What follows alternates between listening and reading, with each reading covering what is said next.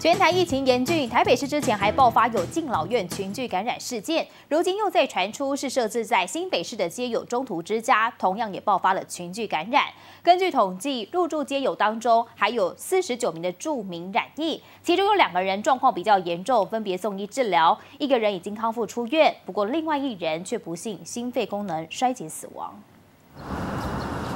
北市疫情进入高原期，皆有确诊状况。今年统计，中正区蓝翼十三人，万华十二人，加上大同区一人，总计二十六人确诊。但收容皆有的中途之家，之前却爆出群聚感染。